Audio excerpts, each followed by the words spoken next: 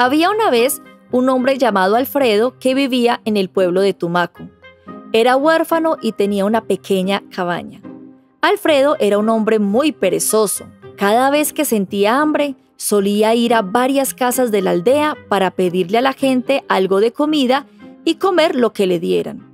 Todos le decían que trabajara en lugar de mendigar. De esta forma, se llenó de profundo resentimiento y se fue a la ciudad a ganar mucho dinero. En ese momento de agitación no se dio cuenta hacia dónde se dirigía. Mientras tanto, se hizo de noche. Se cansó y no pudo caminar más. Luego se sentó en un lugar y observó los alrededores. Se sorprendió de inmediato al saber que había llegado a los escombros de Palermo. La gente de la aldea vecina decía que tenían mucho miedo de los escombros de Palermo. La gente creía que los fantasmas y los demonios peleaban todo el día en los escombros de esa aldea, que fue construida hace muchos años. Así que nadie se había atrevido a ir allí, incluso si fuera de día. Si alguna persona por desconocimiento se acercara a dicho sitio, esta sería golpeada con tanta fuerza que podría incluso acabar con su vida. El pobre y perezoso de Alfredo había llegado hasta allí. Con un poco de coraje, miró a su alrededor una vez más, pero no encontró a ningún fantasma.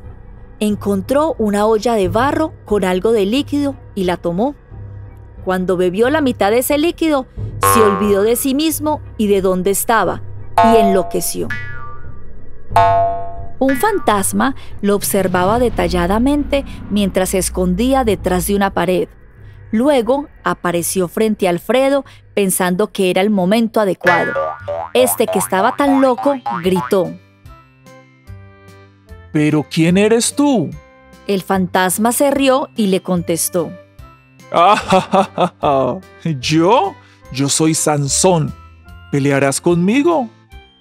Así, Alfredo se enfureció y miró al fantasma. Pero el fantasma no parecía uno como tal. Con un chal alrededor del cuello, zapatillas de madera, aretes y brazaletes con cara de león, el fantasma parecía un pastor. Alfredo estaba muy confundido al ver la arrogancia de dicho personaje, así que éste le dijo, ¡Vamos! ¡Pelea conmigo! Diciendo esto, Alfredo se puso de pie, pensando que se trataba de alguien viejo y que terminaría con solo un golpe. Pero el fantasma era un experto en lucha libre y había estado golpeando a las personas que iban allí por años. Alfredo y el fantasma comenzaron a pelear. El fantasma lo levantó con las dos manos y lo golpeó contra el suelo. Con el golpe tan fuerte que se dio en la cabeza, este volvió a la normalidad.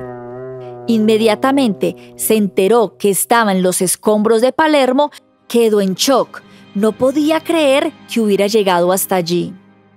No, déjame, no volvería aquí de nuevo. Alfredo estaba petrificado de susto. Al principio dijiste que pelearías conmigo, ¿verdad? Dicho esto, el fantasma se sentó en su pecho y comenzó a apretarle el cuello, este pensó que moriría allí.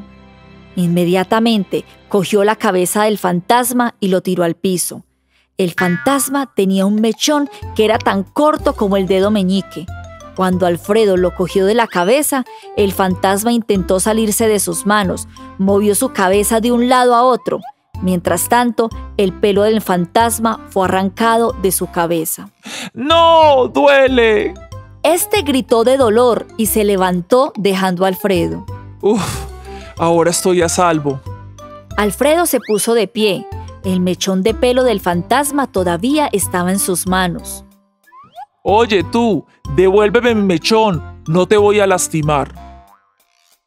Alfredo con mucho coraje le respondió. No, no, te voy a dar una lección. Y diciendo esto, Alfredo se fue. El fantasma se quedó llorando y luego dijo, Hey, Alfredo, ¿de qué te sirve? No puedes hacer nada con mi mechón. Si voy con los demás fantasmas y mi mechón, me molestarán. Ah, ese es el problema. ¿Por qué no me lo dijiste antes? Diciendo esto, Alfredo saltó de alegría y se sentó sobre los hombros del fantasma. El fantasma que perdió todo el poder cuando Alfredo le quitó el mechón no pudo hacer nada. Comenzó a llorar sin parar.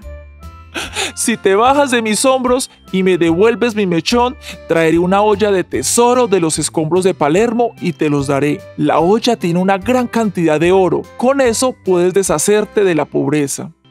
De esta manera, el fantasma trató de convencer a Alfredo.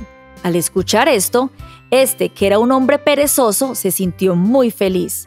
Pensó que podía ser el dueño de todo. Pero primero trae esa olla del tesoro, entonces pensaré en devolverte tu mechón. Inmediatamente, el fantasma se dirigió a los escombros de Palermo y trajo consigo una gran olla con el tesoro. Alfredo esperaba con muchas ansias. Cuando abrió la olla, Alfredo encontró monedas de oro que brillaban allí. Ahora devuélveme mi mechón. Alfredo lo pensó por un momento y le dijo, No, no te voy a dar nada. ¿Qué podría hacer si me coges del cuello después de devolverte el mechón? La gente dice que no debemos confiar en los fantasmas. Lleva esta olla de tesoro a mi choza. El fantasma no tenía otra opción y se sintió tan triste al pensar en su mala suerte. Tomando la olla del tesoro, el fantasma siguió al perezoso de Alfredo mientras se dirigía al pueblo. La cabaña de aquel hombre estaba a un lado de la aldea. Llegaron a la cabaña en la oscuridad, en silencio.